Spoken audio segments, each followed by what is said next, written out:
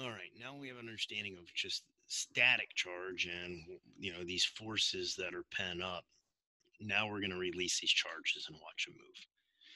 Think about a rubber band. You stretch it, stretch it, stretch it. You're building up that char- or that force, that uh, elastic potential energy, that force that's built up in there. And now you release that one end. You're going to see a change in motion because there's a force there. The same thing is going to apply here with that static charge, with static electricity, you have this force, a certain amount of potential energy building up, building up, building up, and you re- allow that charge now to move or give it a way to move, they're going to move. You're going to have a change in motion and acceleration, and that's what you think about with electricity. Um, some of the key things that we're going to be talking about again are things that you probably have heard at least before volts. You've all probably talked about like a nine volt battery before. Many you talk about charging things up. You know, your computers are notoriously dead from too much gaming and forgetting to charge them. You have a breakdown when your phone doesn't have a charge. You gladly plug it into a wall. You know, and so we'll talk about voltage. We'll talk about current. We'll talk about watts a little bit. Or like a 60 watt light bulb. What does that mean? And so we'll look at all those things and start event. Maybe not today, but in the near future we'll get into start building a little bit of circuitry and maybe you know what's happening when you turn that light switch on what's happening in a breaker box uh, or a fuse when you're having a holiday get together and you have too many crock pots all hooked up in the kitchen and the power goes out. You know what's going on there and why are the what's going on? So we'll talk about all those things. So electric current electricity you know, static electricity is this thing that's just built up, pent up. It's like a stretched rubber band. You know, electric, or when you think about electricity, it's when things are actually flowing and moving. You're going to see me draw an analogy to water quite a bit, and I'll explain that as we go. All right, so some of the key things got a little colorful for you here. Uh, your targets, your objectives, your learning targets here. Explain the relationship between voltage, resistance, and current. Uh, that's one of the big things with electricity is looking at how those three play into into account. Uh, predict energy transformation. Okay, so are we going from electrical to heat for your toaster oven? Are we going electrical to mechanical for a fan bl- bl- moving? Are we going uh, electrical to light for a light bulb? And we're going to talk about series and parallel circuits. Uh, the best analogy for that is Christmas lights some Christmas lights, the older ones, if one light bulb goes out, the entire strand goes out. In the newer ones, maybe only a few go out if any other ones go out. Another analogy or example of that is in your house. If you turn off a light, not all the lights in the entire house go out. And so there's a difference between an advantage, disadvantage for series and parallel. And we'll just start getting into that. You'll explore more of that next week when you do a, a circuit building lab. So static electricity, static electricity again is that buildup of charge, okay, and it, it can discharge. That's your shock, but most of the time we're just talking about the buildup of a net charge, a total charge on an object, and it's not moving or really flowing. Electric current is the flow of that charge. Okay?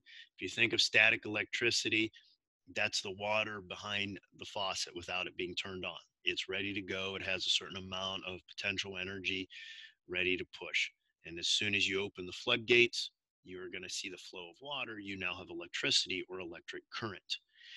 When you see this word current, what I want you to think about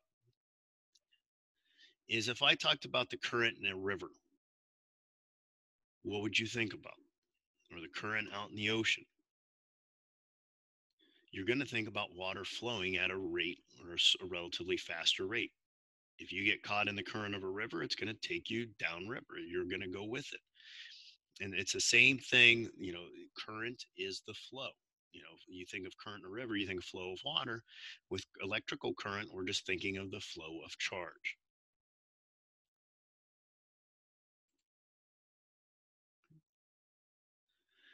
All right, just a review, uh, with static electricity, you had three ways that we talked about charging.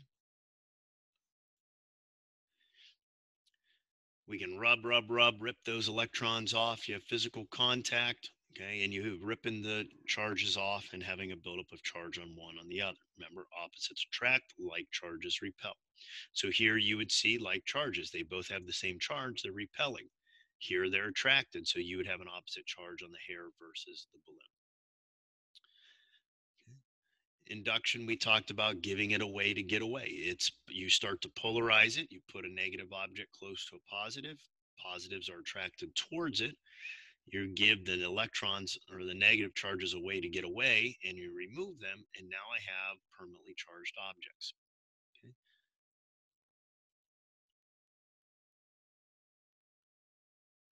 All right, so we're going to talk about voltage to start.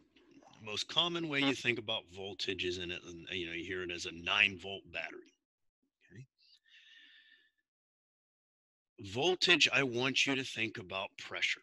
Okay, it's the pressure that's building up, getting those charges ready to flow. Okay? If you have, you think of your bathroom faucet or your household faucets, there's a certain amount of pressure built up. You know, if you live in the city, you probably have a little higher pressure. As soon as you open that floodgate, it allows it to go. Okay? Another way to think about it is you have your garden hose with the attachment, the sprayer on it you have the sprayer closed, you have that build up pressure in the hose. As soon as you give it a way to release, it's going to flow. That buildup of pressure before it flows, that potential energy, stored energy, is voltage. I want you to think about it as a water tower. Okay. You have a water tower like we have at school right outside by the stadium. You have a certain height, which gives it a certain amount of pressure, a certain amount of potential energy voltage on it, say a battery, is the same thing. It's giving it a certain amount of pressure. It's like the water up here. And as soon as you give it a way to go, what's going to happen to this water? It's going to flow downhill because of gravity. Water always goes downhill. So think of pressure, voltage, think of a water tower. Your voltage source is how much pressure is behind those charges trying to get them to flow.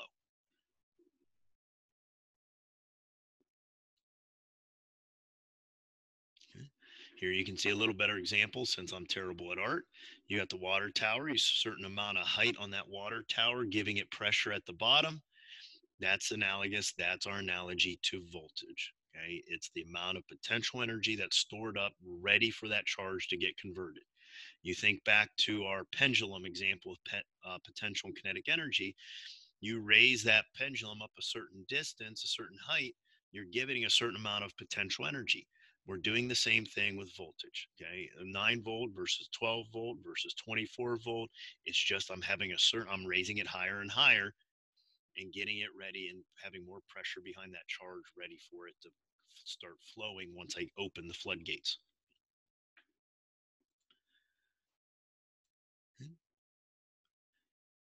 ways to create it uh, a variety of ways but the three kind of main ways that we talk about in our everyday life is your chemical cells is your batteries you have a chemical reaction in those batteries that create a certain amount of pressure for that charge to flow when you charge your phone or your uh, computer battery you're in essence resetting and allowing that that chemical reaction to take place again generators we'll talk about those more when we get to magnetism but your power in your house, most of them are created by some form of a generator. Or you have solar cells, you have solar power, but all those are creating a certain amount of pressure, a certain amount of potential energy for those charges to be able to flow. Again, think of the water tower.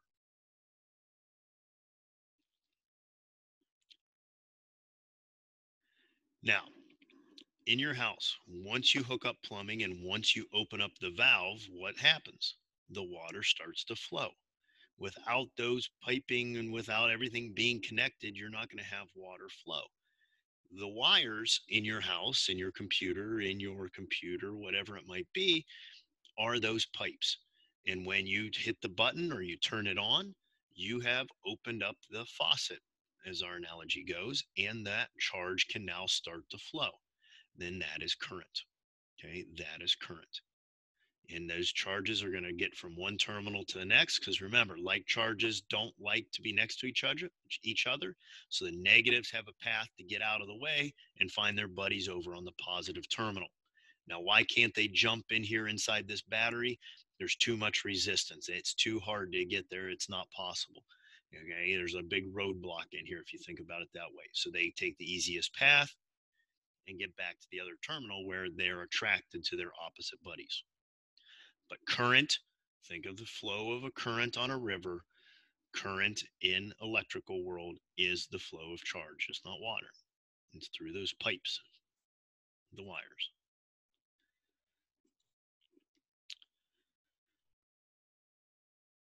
All right. Now, current in a circuit or in anything is a flow of charge and it is measured in amps, amperes, okay, amps for short.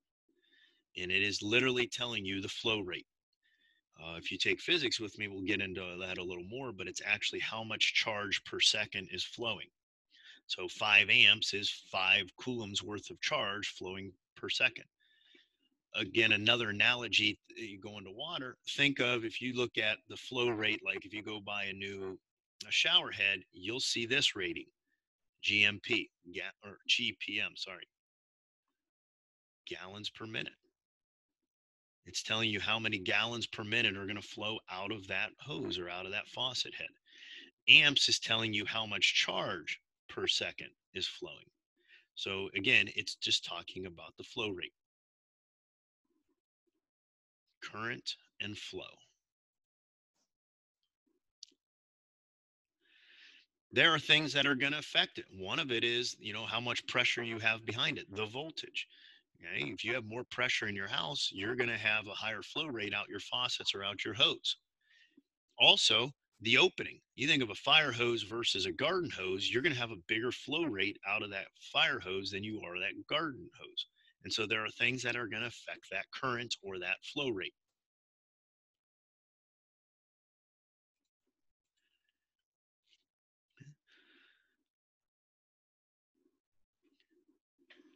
That thing that is going to affect the flow rate is called resistance. Okay.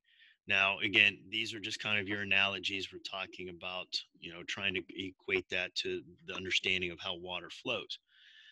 Think of resistance of the size of the hose or how many kinks you have in the hose. If you put a kink in the hose, what's going to happen to it? The flow rate's going to slow down or and or stop.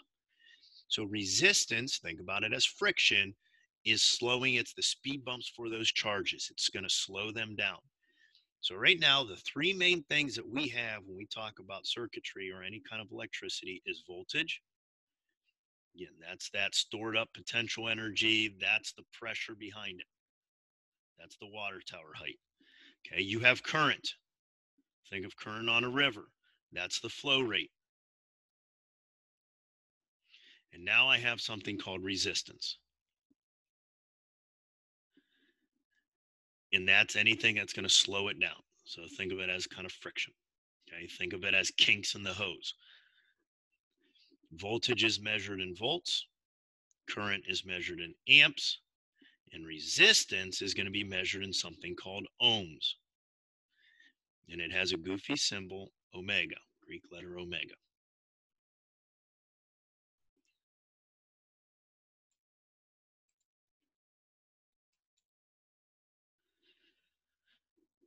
All right. If I were you, I would take a minute. You you're not turning these in, but pause it answer these questions uh, and look back if you need to.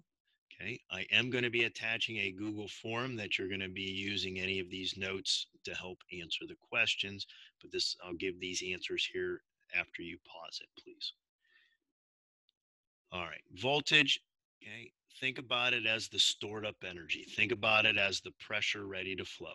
It's the amount of stored up energy.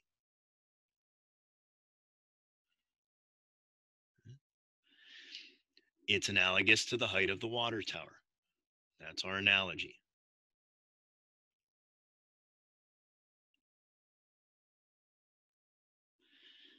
How is it generated? The three main ways one should be aware of really is the most common way around anymore is you think about battery voltage, uh, wall voltage, which is from the generators at the power plants, and you also have uh, photovoltaic cells or solar power creating that voltage Current. If you just see this word, you probably, hopefully, might think of the on a river, and that's the flow of water. So this is the flow rate of charge.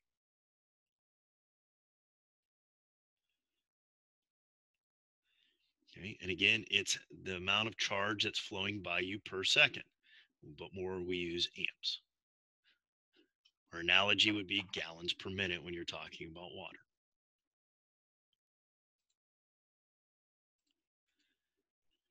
So resistance, the tendency for a material to oppose the flow of electrons. Again, think of it as kinks in the hose. Think about it, things that are going to slow it down. Think about it as friction. Now, sometimes you want a lot of friction because you want heat. You want a lot of resistance because you want it to get hot and produce light. Here you can see the filament in an incandescent light bulb has a lot of resistance, so much so that it creates so much heat that those metal filaments light up and produce the light.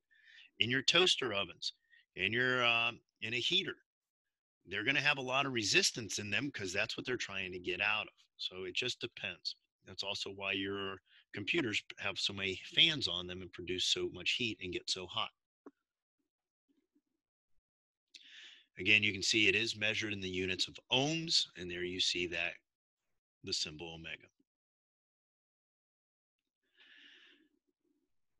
things that will affect it. Again, if you equate it to water, you're thinking about the size of the hose or the length of the hose. You're thinking of maybe putting some kinks in it that are going to slow it down. Um, things that are going to affect it from, from a pure electrical standpoint is the length. The longer you have to go, the greater the friction, the greater the more resistance you're going to have. So that's why if you have long runs in your home of electricity, or you look at the power lines that are out on the road or up to your house, they're a lot bigger diameter than the wiring inside your computer. They'll also create a so that you get a bigger diameter to offset that length. Material, whether it's aluminum, copper, gold, it's going to affect it because certain things are better conductors. And temperature will also have a play.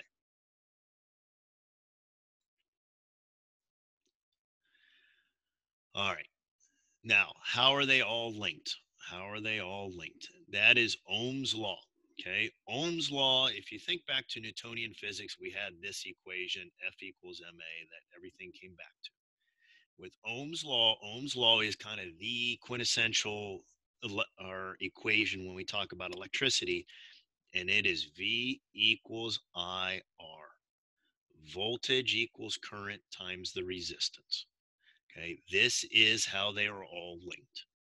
And this is kind of the circuitry electrical equation.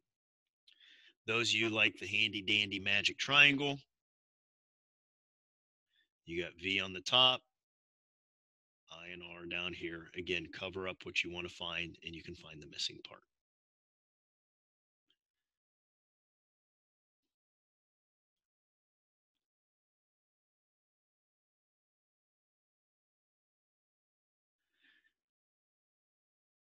All right, series circuit. So let's just talk briefly about series and parallel. Series, there everything is lined up. In a circuit, you have to have things, the two terminals of your voltage source, or in this case of a battery, connected. In this case, boom, connects to the positive, the lights turn on. If I'm a little charge, I have to go through every single one of these batteries, depositing energy to get back to the other terminal. I deposit a little energy here, little energy here, little energy here, little energy here, until I'm all spent by the time I get back to the battery to get recharged. Now, understand that you have to be able to get back to the battery. Okay, the, this symbol right here, where you see a short line, big line, that's a symbol for a battery, positive, negative terminal. This is a, a light bulb. This is what we call a switch. Now, as I come around here and I'm trying to get the other side of my terminal, I can deposit a little energy here. I come back, uh-oh, the drawbridge is open. I can't get to the other side. So guess what? I'm not going to flow. I'm not going to leave. I know the road is broke. I'm not leaving my terminal. No light bulb is going to turn on. I'm not even going to try to make it this way because I know I can't get any further. So the charges don't leave because of this, what we call open switch. Okay. So you have to have a completed path for the charge to flow. And so you have, in this case, what you have is an open switch. Okay, that's what you see right here. Sometimes you'll see two circles here. Okay, this would be called an open switch. This would be called a closed switch. Okay, open and closed. I like to think of a drawbridge. The drawbridge is open, no cars are going to pass through, no charge can flow. The circuit's not going to turn on. When your light switch is off on the wall, this is what is occurring. When you flip the switch, you close that drawbridge, the cars can now travel, the charges can now go. Okay. But a series circuit, there is one path and one path only, no detours.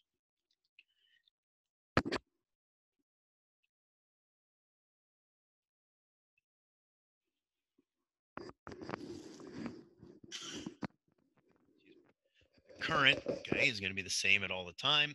The resistors add up because think about them as speed bumps.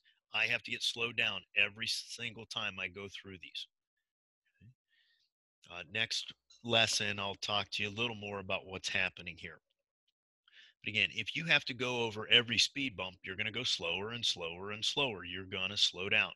You're going to deposit a little energy here, a little energy here. If you add some more light bulbs, you got to deposit a little energy there. So as you look in LabNet coming up here, you'll see that the dimness, because the current's going to go down, you're going to see the dimness. It's the lights, the more lights you add, the dimmer it gets because you only have so much energy to deposit each way. A parallel circuit, you have multiple paths. Think about it on this way. Think about grocery stores, okay? The more lanes that are open, the quicker you're going to get through because you can kind of divide up where you want to go. So if you have five lanes open, you, you can go to any of those lanes and it's going to get people in there and through there faster as opposed to having one lane and everybody having to go through it. Now, if you have five lanes open at the grocery store, you're not going through every lane, are you?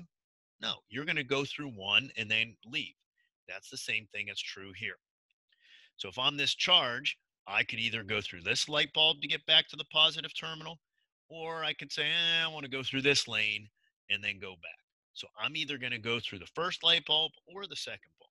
I'm either going to go through lane one checkout or lane two checkout, not both of them. I'm not going to pay twice. So now, if one of these light bulbs breaks, that's like having an open switch. I don't have to go through that one. I have a detour. I have an alternative route that I can go, and, and so this light bulb will stay on. So this is like the newer Christmas lights that if one goes out, the other ones can still stay on. Series where if one goes out, forget it. Every single one of them is go out because there is no detour. It's a one lane road. There's one lane and you can't get around. So that's one of the main advantages of being parallel.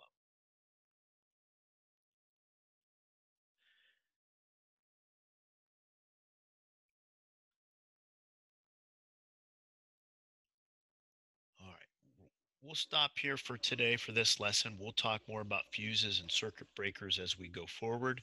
Um, again, there is going to be a Google form that's going to be coming out to you that is going to use a lot of these resources in these uh, lessons this week. Again, treat it just like a check your understanding and a little open note check just to use it, use your resources, use your notes, use these videos to answer those questions. I'm just checking for your understanding of the basics before we go further.